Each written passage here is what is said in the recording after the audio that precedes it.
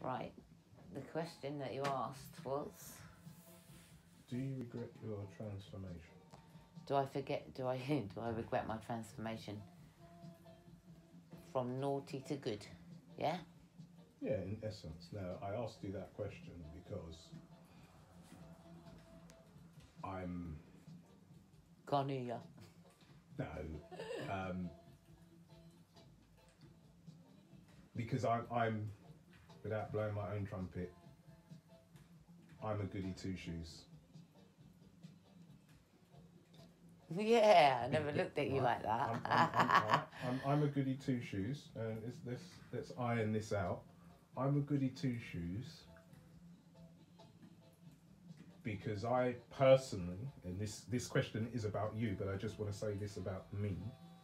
I'm a goody two shoes because being a goody two shoes has allowed me to get this far in life and probably will help me to go further in life.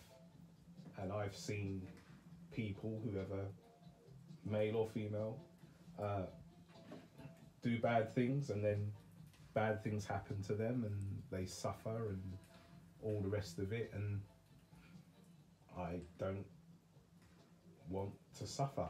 I don't like to suffer unnecessarily so, and I was always taught do good things and good things will happen. So I always try to do good things. The question I was asking you is that by your own admission, you were once a rebel and you have turned your life around at your own pace. It wasn't a request of mine to turn you into a goody two shoes. Does that make sense? What I'm saying? I never said, hey, look, you want to get with me, you got to drop that, drop that, drop that, and drop that also. And also drop this person, that person, that person, that person, if you want to share a space with me. I've never put that. No, you, you've never been Right? dictate you've never dictated my life in, in any shape or form. Right, which is what then makes me pose that question Do you regret your transformation? Because previously, before I asked you that question, it was like, hey, you know, a couple of years ago, you know, I'd have gone round there and boof, boof, boof. and over the back fence and you this and you that. Yeah, I would have done. I'd, I would have picked them, grabbed them by their hair, and knocked them out a few times. Yeah, yeah. You know, because they going back to when you leave when you leave the area that you were raised and you meet people along the way that came back from that area it's almost like you're going backwards back to the same Yes. circle of people that kept you there in the first place Yeah. that you could participated, both of you or all of you participated in a world of community. Uh-huh. So your community was in the community, and your community was your next door neighbour or so, right? So you people were close. This is why people have got to the point where they don't talk to neighbours anymore because yeah, you're supposed to love thy neighbour, but can you trust thy neighbour? You know? Mm-hmm. And it's when you go back to the people you once hung out with, mm-hmm. drinking, and you share some memories that obviously will never come out or whatever else, but you, you, you have an experience with each other, etc. So you've got, you share memories, but when you go back and you, you miss a gap, so you know, as you brought up with them, you miss that gap. Hmm. And when you see people again, it's, oh, how are you? But they have hmm. no idea what you're doing, No. who you are, or what you do anymore, or even mm-hmm. all they ever say is the same thing. Mm-hmm. Oh, how's your children? How many you got now? Uh, you know, it's, he's, he's, oh, just the memory of what they remember about you. They've got nothing else to sort of identify you with, only what you, they once knew when you were sharing that time. Mm-hmm. So when you come away, you haven't seen someone for years, mm-hmm. you you you change your life. Mm-hmm.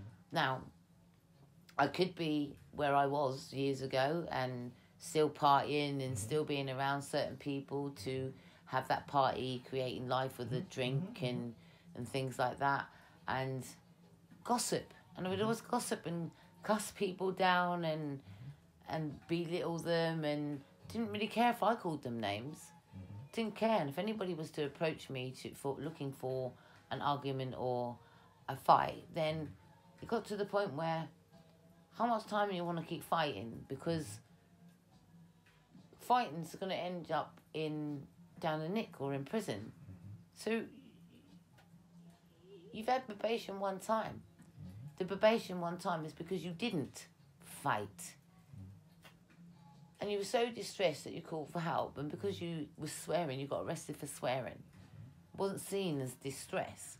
So uh, that's where I lost a little bit of faith in Mhm. in the people who are supposed to support you, right? But you stop fighting back. Now, I could have, at that point, when that person struck me, I could have gone back to my roots and do what I was taught to do, mm-hmm.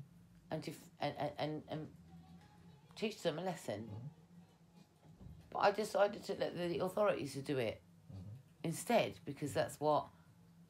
It's the way to be out of trouble if you do the right. Why didn't you tell someone? Mm-hmm. Okay, well I'm telling you now. Deal with it. Mm-hmm. So, and then it was every time I used to get involved, there was an incident.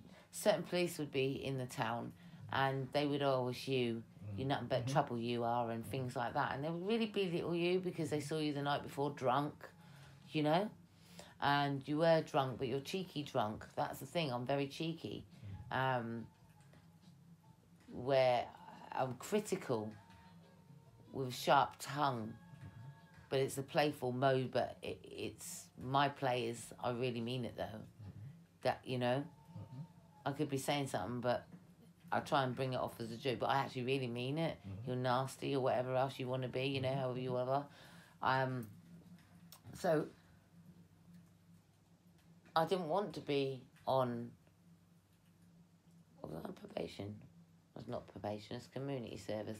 I didn't want community service you know um yeah i didn't that is probation isn't it Well, yeah, co- community service Yeah. is is a well you go through those procedures. Yeah. well i didn't want to ever go through things like that again. It's quite degrading really. You know what i mean? I'm a parent and i don't want my kids thinking no their mum's always in trouble and stuff you know? But mum did try to do the right thing mm. and not whack them back because whacking bait people back even if they do it to you mm. only lands you mm-hmm. who is the victim mm-hmm. into trouble. Mm-hmm. So it just it, society taught me that it don't matter if you're right. You're gonna have to prove that you're right. You're gonna have to prove. First of all, we're gonna say that you're guilty. Well, you're guilty because you are guilty, and I believe you're guilty because of the color of your skin. Mm-hmm. So let me get to the nitty gritty now. Mm. You're guilty. You can't be anything more than guilty because you're loud. Listen, I wasn't brought up like royalty. I was brought up in a loud atmosphere. I was brought up with a loud family. I was brought up with speakers, giant speakers. So we got accustomed to over talking music. So we got accustomed to being loud. That's what black people are known for, right? Being loud and feisty. I'll take that. But you know what? Society teaches you to know your place. Mm-hmm. What we teach ourselves, or I'm going to talk on behalf of myself, is to I have a place in this world. Mm-hmm. So, although people, when you go along this journey, they're trying to push you out of their world, you fight for a place in this world. You then stand up and you try and demonstrate I'm not dumb like you think I'm dumb. I'm not stupid like you think I'm stupid. You're telling people that this is not happening and it's happening. And then I have to go out my way and prove it. It really is happening. And then I've got tons and tons of witnesses to show that it really was happening. So it shows me discrimination in my face. Yeah, I don't want to think bad of people Mhm. because I, I, I can't condemn the whole world. I can only condemn those that are dealing with me in my circle. So when I saw written content about me, in the way I defend accusations, there are mean words written about me, like she's throwing a tantrum.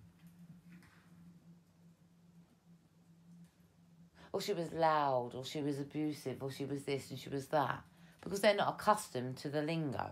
They're not accustomed to the when I stopped and I go into my dad's language, you know what I mean? They're not accustomed to, to that, well, that's a mixed race for you, isn't it? It's about changing the lingo of what you're accustomed to. You know how to cuss because your parents taught you how to cuss. And that comes out in a different language. So I stopped cussing much, you see. I started thinking it's too draining. This all this defending myself is draining. So I uh, eliminated people that always look for an argument. Ain't got nothing better to do than try and keep you back in the same circle that you're trying to run from.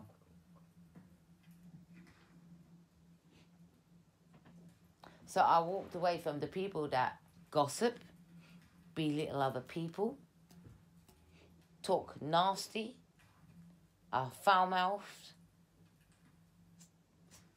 are, are vengeful on others. I walked away from people like that. That's what I walked away from. It's almost like when people join gangs, mm-hmm.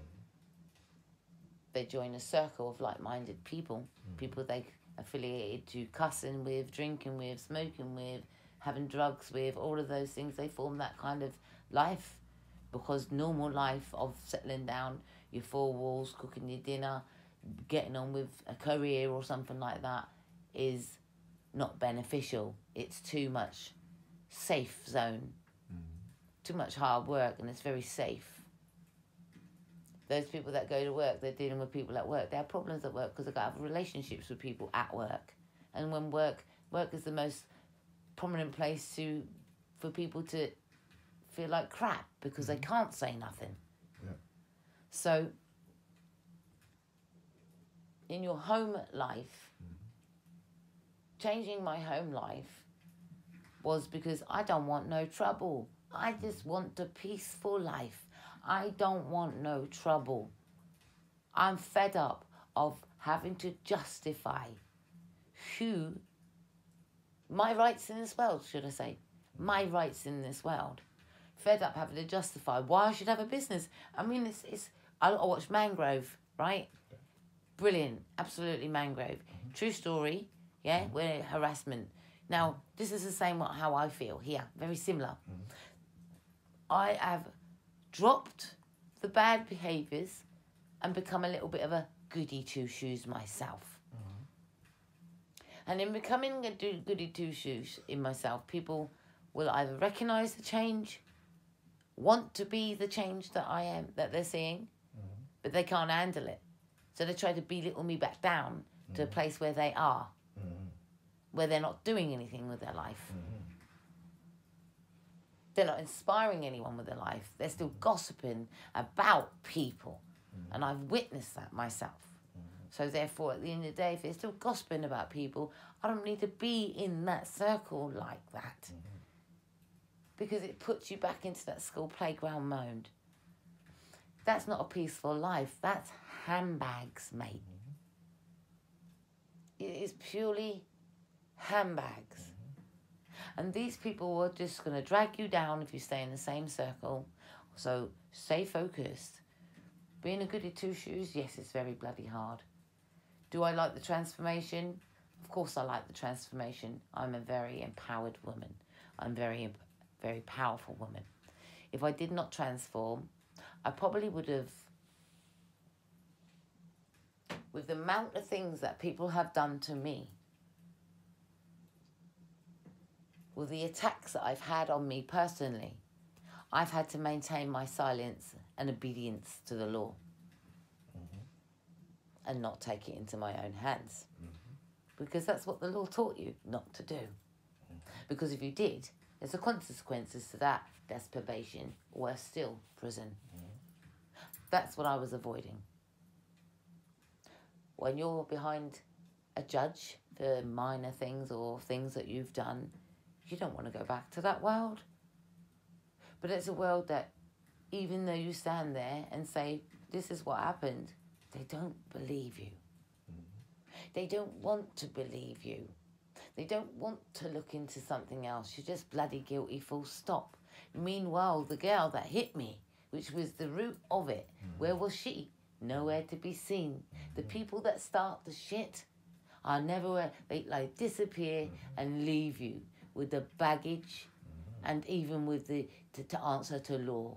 Mm-hmm.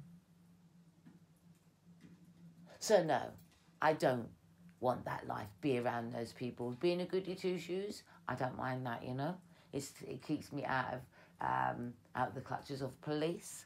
It mm-hmm. keep, it empowers me to for my rights.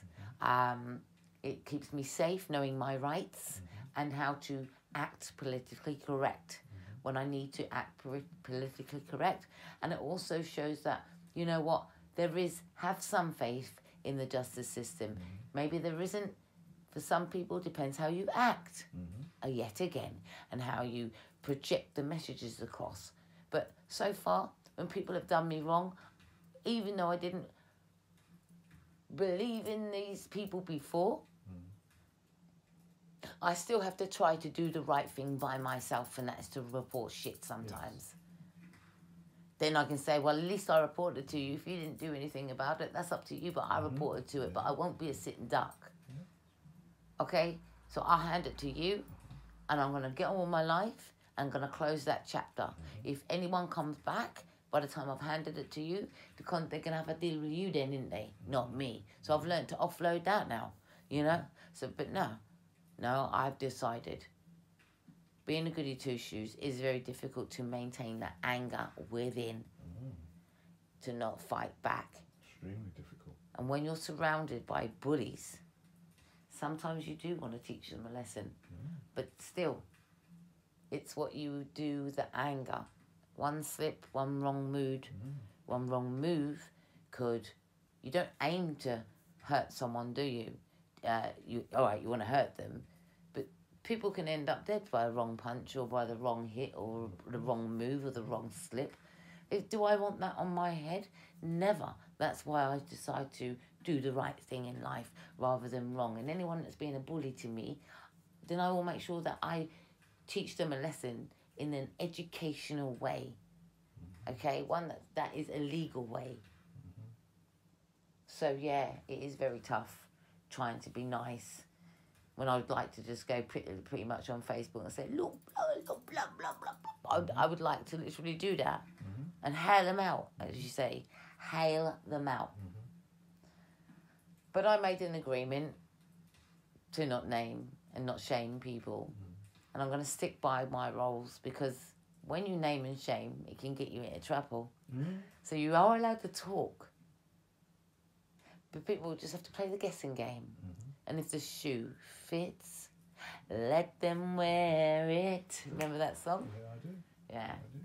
So that's my testimony over there about And that. that's, That's why I asked the question. You know, just I'm because you know I'm sick of tired, sick of tired of being attacked. I'm sick of it. You see that I'm being attacked, but you see, I don't always put it down to the people. I put it down that I'm doing, I'm doing work of of faith. You know, Okay, I'm yeah, doing work of yeah, faith. yeah. And when you're doing work of faith, they always say that, you know, sometimes, you know, when you're on the right path, that they come thick and fast, and they've been coming thick and fast. But the process of elimination is becoming such more simplified for me. You know, bye, ping, you're gone, and I'm I'm good. it's very much simplified. When you know the truth and you stand in your truth, and you you know I'm telling the truth, mm-hmm. that at the end of the day I have evidence evidence mm-hmm. to always prove my truth. You need that. Then at the end of the day, I ain't that. looking over my shoulder. That's right. And I think that's the good part. Being truthful means you don't have to look over your shoulder. That's right. That's what I like about it.